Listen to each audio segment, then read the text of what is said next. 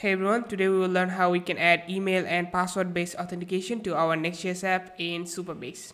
This is actually a video series about Next.js authentication with Supabase. In the previous videos, I have shown you how you can add Google and GitHub OAuth. I will put the playlist on the description. So let's get started. The first thing that you need to set up is actually an SMTP server. The SMTP server will be used to send emails for sending confirmation link or OTPs or reset password links and so on. So let's go to this custom guide link. And if you scroll down, you will see a bunch of recommended services.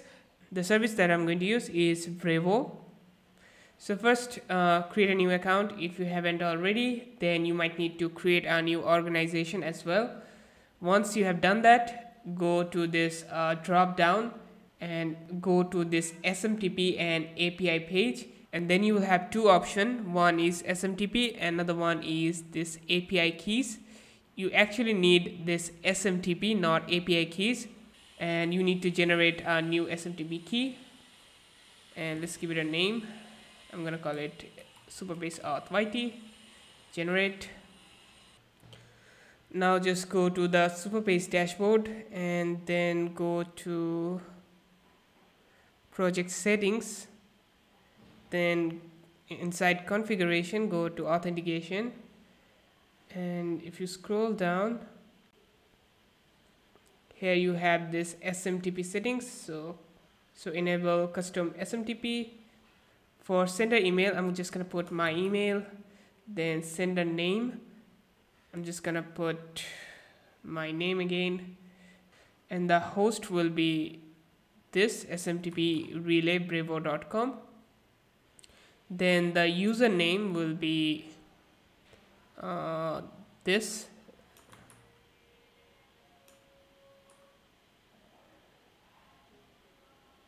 And the password will be the smtp key. And now just click save.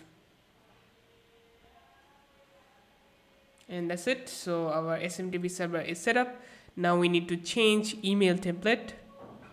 So just go to authentication then email templates. Also go to the documentation. Uh, where server-side rendering then sorry password based. And let's scroll down. We are using the PKCE flow because we are using server-side rendering. So here is the template that you need to use go to the dashboard email templates and confirm sign up. Just paste it over here. And you can customize the template however you want. Just make sure that the link has the correct href attribute. That should be it for the dashboard work. Now we need to add the form in our Next.js app. I will use the same page this slash auth page for adding the email and password authentication form plus from this page you will be able to create a new account and also log in with your existing account. And I will check that by adding a query parameter. I will call it auth type. You can call it whatever you want. It doesn't really matter. Actually before that let's just create a server action. So let's create a new function. Sign in with email password. This function will be used inside a use action state hook that's why it will get two parameter instead of one.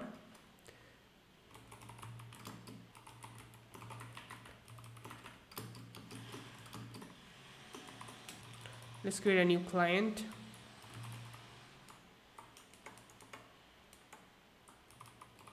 And we need to call the sign up function. So supabase auth sign up we need to pass the email and password.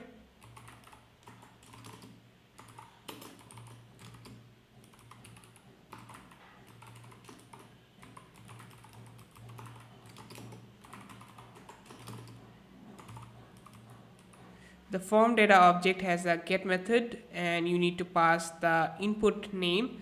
Make sure the inputs have the name attribute in it. Otherwise it won't work and let's get the data and error.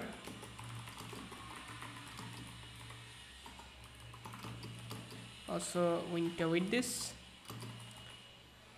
If there is an error we're gonna return an object success null and error will be error dot message. Otherwise we will return another object. The success message will be please check your email and error will be null. We also need to create an API route because if you see the email template it is actually using slash auth slash confirm. And previously in our OAuth videos we had used slash auth slash callback and the codes are also going to be different. So let's create that. So inside app auth then create a new folder confirm slash route dot js and let's get the code from documentation. So here is the code. Copy this. That's it. Now we can finally add the form to our UI so first let's get the query parameters and check if user wants to log in or create a new account. And we can get the query parameter using a hook called use search params and let's get search params. Let's get the auth type.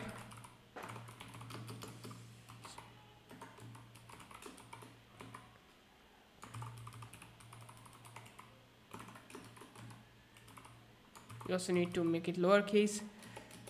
And I'm gonna paste the input code.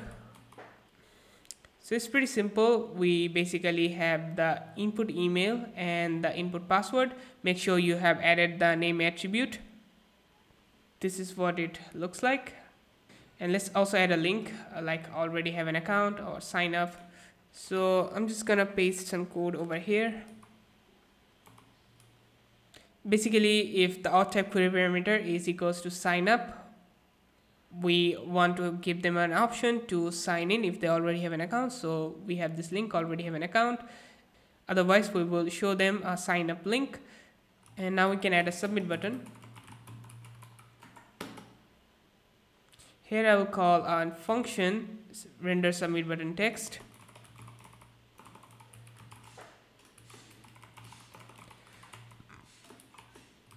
Now let's create the function.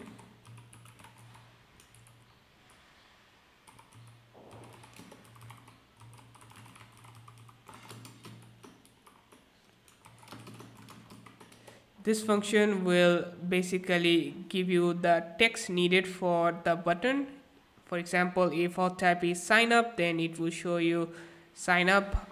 So let's add a switch statement. Auth type. And default will be just sign in. If sign up we will return sign up.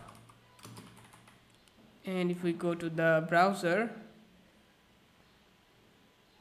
we have a button for sign in. If I add a query parameter auth type sign up. Now we have a sign up button and the link is already have an account. If I put some gibberish it will show you sign in. And now let's handle loading and error state. Using a hook called use action state I have created a separate video about it but basically it's a hook that allows you to have state when using a form action. So let's add the hook. Use action state. And it will be coming from react inside the hook you need to pass two arguments. First one will be the action which is the server action. But the server actions are going to be different based on the query parameter. Either it will be sign up or sign in. So let's create a function for that. Get form action. We will use the same switch statement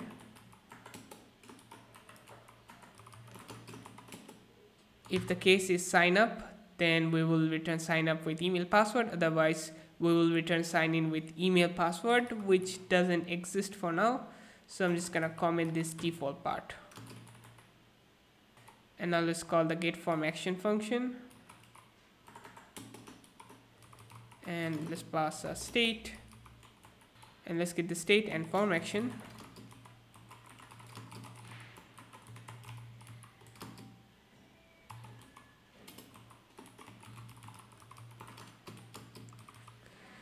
this is the actual state this is the form action that we need to use inside the form and this is the same function that will be passed over here and this is just the loading state. Now let's go to the form pass an action attribute and pass the form action. Let's get the error and success state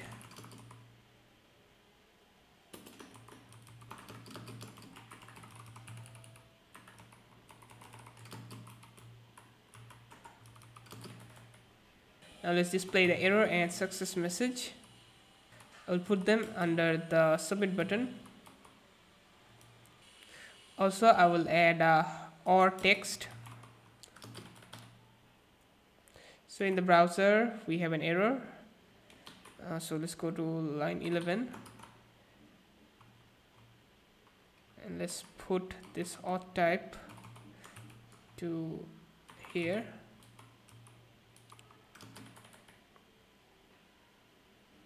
and now we don't have any error. And before test it out let's just delete the existing account that we had.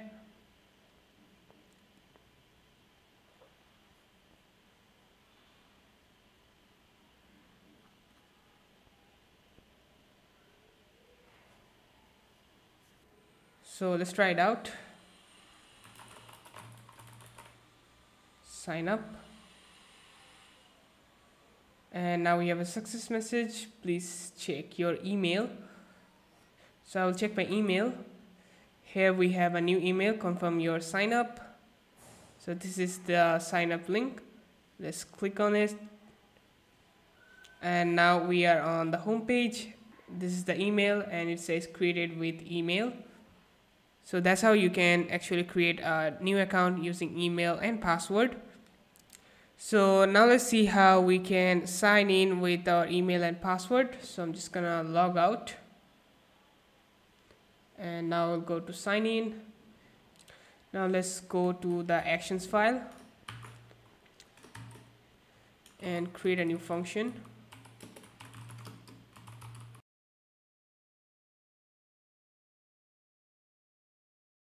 Let's create a Supabase client here we need to call the sign in with password function. So await supabase auth. Sign in with the password. And we need to pass the email and the password like before. And let's get the data and error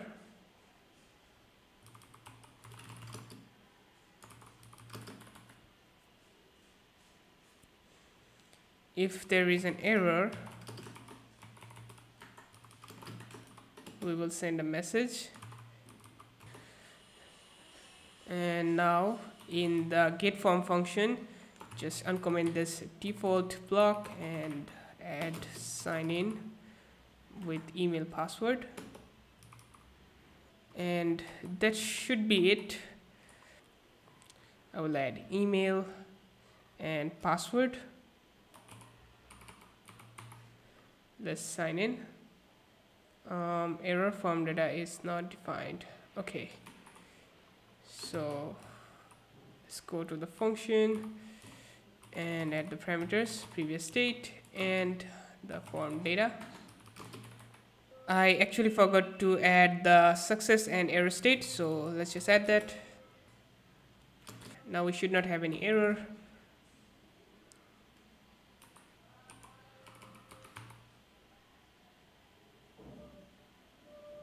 logged in successfully.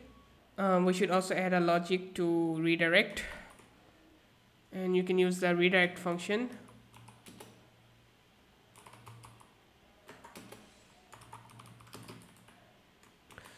So let's try it out again.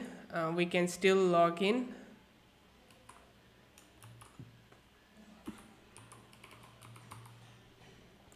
Let's sign in and now we are redirected to the home page and we don't need this uh, success state. So that's it for today's video. If the video has been helpful for you don't forget to like share and subscribe to my channel. In the next video i will show you how you can reset a user password.